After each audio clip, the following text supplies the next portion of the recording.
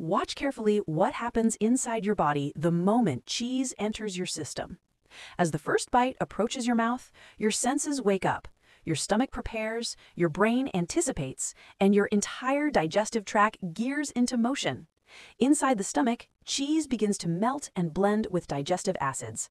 Its fats, proteins, and calcium start breaking down, releasing powerful nutrients that your body immediately recognizes and absorbs. As the cheese travels into the intestines, microscopic villi pull in these nutrients. Calcium enters the bloodstream, proteins begin their transformation, and healthy fats move through the digestive walls with precision.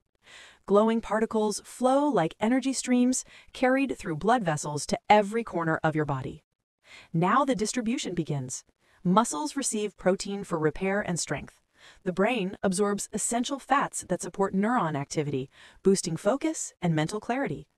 The gut microbiome responds to cheese-derived compounds, lighting up with balanced, healthy bacteria. But for some, the journey takes a different turn. Excess cheese can irritate the stomach lining, causing inflammation or discomfort. Those sensitive to dairy may experience skin redness or allergic responses. And for others, lactose can trigger blood sugar spikes or leave the body feeling sluggish and low in energy.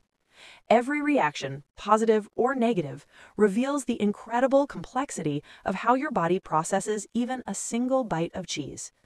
This is the hidden world inside you, brought to life in motion.